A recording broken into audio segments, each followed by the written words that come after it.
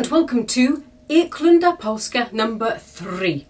This was written by Viktor Lasse. He was a fiddler, works very well on the nyckelharpa. And normally I play this on the contrabass harpa, but I'm going to teach it on the normal nyckelharpa here, playing it nice and slowly just to go through some of the fingerings that I have chosen to do.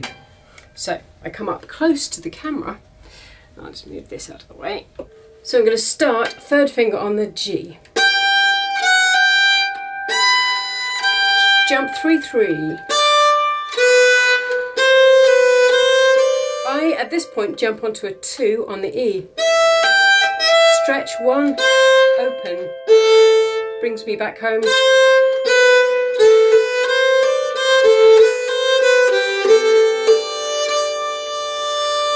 Jump 3-3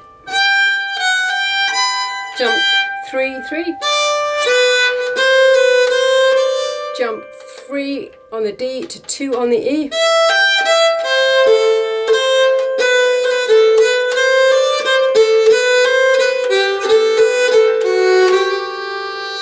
So there's a little bit of jumping. I'll do that again.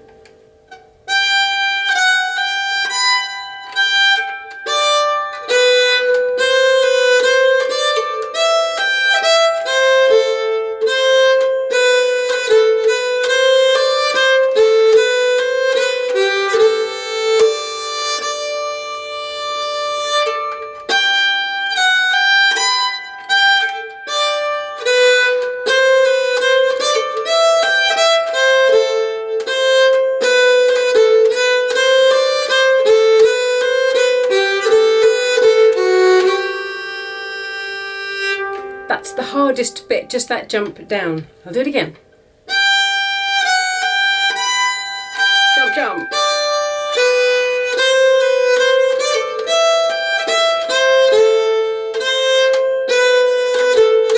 Oh, here, I'm just doing a B, C, B, A, B.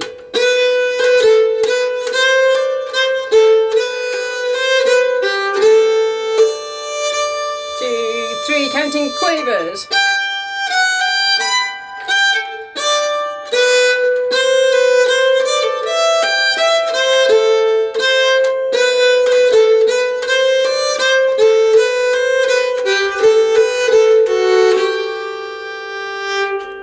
Part is really easy. It's easy to rush. So I'm going to play the B part at that exact speed. I'm going to count six quavers in. One, two, three, four, five, six. One, two, and three, four, five, six.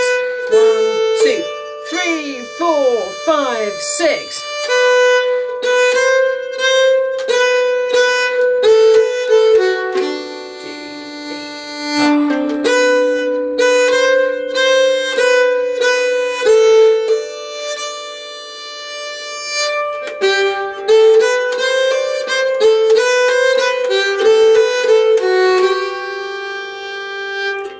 Very simple but easy to rush on that. That means that you'll be screwed by the time you get back to the A part, which is a lot trickier. Now I can also leave my sticky G, my fourth finger G.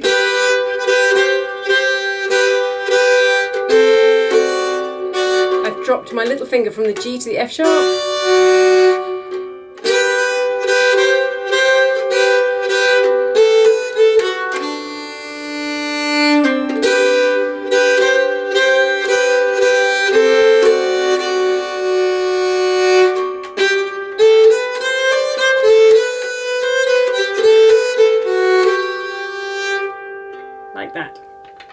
To play the A and the B a little bit quicker.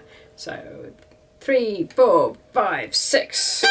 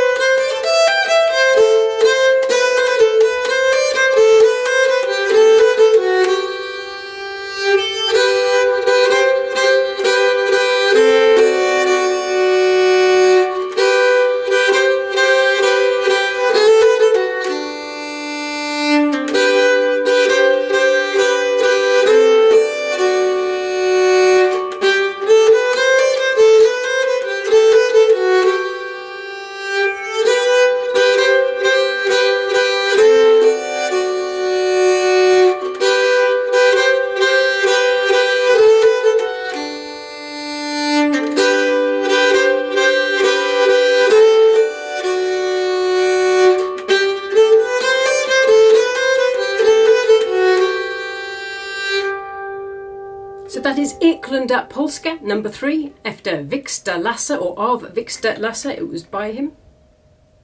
Let's play it a little bit faster. One, two, three.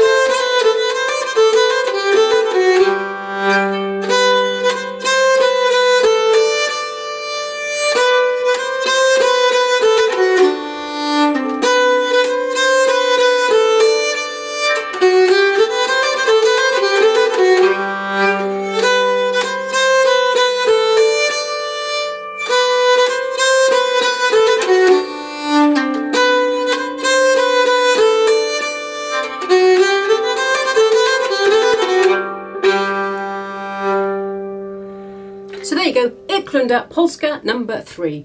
Um, Victor Lasse was a fiddler, so it's not necessarily a nyckelharpa tune, but I think it absolutely is a contrabass harpa tune. So that is what I normally play it on. And don't forget, check out the video, uh, the trio of me playing it on contrabass, flute and octave harpa. Thanks for watching. See you in the next lesson.